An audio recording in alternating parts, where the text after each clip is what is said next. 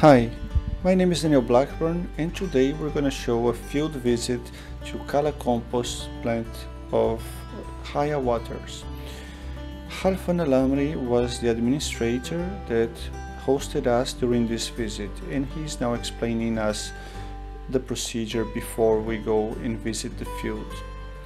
The plant was designed for over 40,000 tons per year and now it's operating around 54,000 tons per year. This is a schematic of the plant, uh, including reception patio, composting patio, maturing patio and packaging area, also the administrative offices. The trucks bringing the green waste, including woody materials, or weigh it on their way in to quantify the amount of organic matter that is incoming into the composting plant. This is what the material received looks like.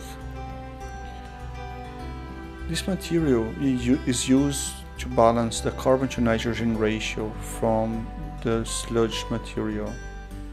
Industrial sized shredders are used to shred the materials as they come in before they are used to balance the carbon to nitrogen ratio from the sludge material received. To assemble the windrows, the sludge material is brought to the composting patio and assembled in lines of approximately 3 meters of base and 1.5 meters of height. This sludge material are biosolids from water treatment plants. Windrow compost turners, like the one you see here on this image, are used to mix the sludge material from water treatment plants with the woody material brought from public areas and shredded into fine pieces upon reception. Here you can see the windrow turner in action turning the pile of compost for aeration, moisture reduction and temperature reduction. The aeration of this material is very important during the composting procedure in order to accelerate the process of organic matter decomposition and increase the amount of material that the composting plant can process. The moisture of the sludge material is around 80% upon reception and this material does not give any leachates because of a pre-centrifugation step that Haya Waters performs before delivering the sludge to the composting plant. Upon mixture, this material will lose humidity up to reaching around 30% during the maturing stage. The initial composition of the windrow is one part of sludge material and one part of green waste material. This material is subjected initially for a first turn for mixing.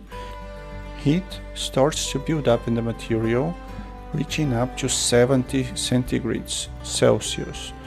After 55 centigrades Celsius, we assume that the compost starts the active composting stage.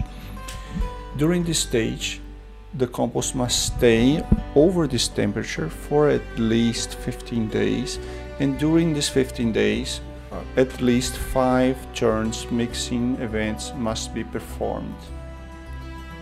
Once the temperature starts decreasing in this compost material, then the thermophilic phase is over and this compost is ready to be transported to the maturing stage where it's going to rest for at least one month before being sent to packaging. The Kala compost plant receives sludge material from all Oman except from Salalah, but receives only the browns, the plant residues from Muscat municipality area. So the browns, the amount of browns in this system is the Achilles heels of this plant because the amount of sludge tends only for increasing and the browns are harder to obtain and tend to maintain a constant level of supply or even decrease in time. That being said, the amount of sludge received in 2020 was 30% lower than the amount of sludge received in 2019. But that is alright since the plant is already operating in a very high capacity. So to evaluate if the compost is over the thermophilic phase, the monitoring of the temperature is taking place daily on the full line of each compost. When it reaches the time where this compost must be brought to the maturing stage for the curing stage, this compost is already fairly dry with around 30% moisture. Here you can see one compost line which is nearly ready to be brought to the curing area. For the first years of operation of this plant, inoculants were used to accelerate the composting process. But then, after suspending the use of inoculant for a period, they evaluated that it was unnecessary. The transport of this material for the curing area is done by tractors and to evaluate the curing process, the EC, the pH and the moisture are constantly monitored. If the analysis of the material indicates that it's not mature enough, then it's sent back for recomposting in the composting area. The continuous drying of this material during the compost and maturing stages is desirable for the final product. Nevertheless, when it rains, it's rarely that rains, but when it rains, this can become a big problem and whole batches of compost need to be recomposted. You can see in this image the tractors transporting the finished compost from the thermophilic phase up until the maturing patio. This, as you see here, is the maturing patio where each uh, windrow is marked with a code and monitored for maturity during the following month.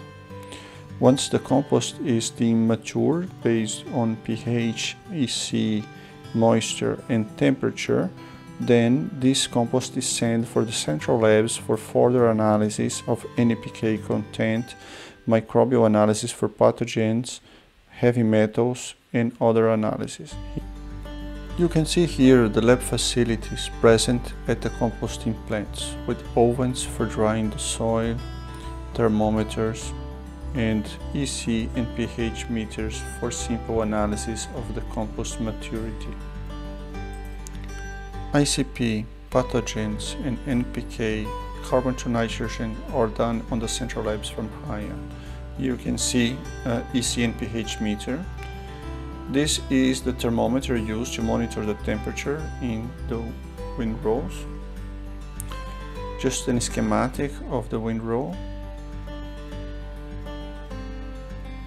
This is a schematic of the process of composting with the thermophilic phase. The full process from reception of material up to packaging. Here is showing the sieving of the material after ready for packaging, the packaging plant, and the transport of the material for sales. Overall, a very beautiful activity that helps Muscat and Oman to be a more green country, recycling organic waste and repurposing this organic waste for agriculture throughout the country, which is much, much needed. Without this composting plant, over 50,000 tons per year of organic matter useful for agriculture will be lost in landfills.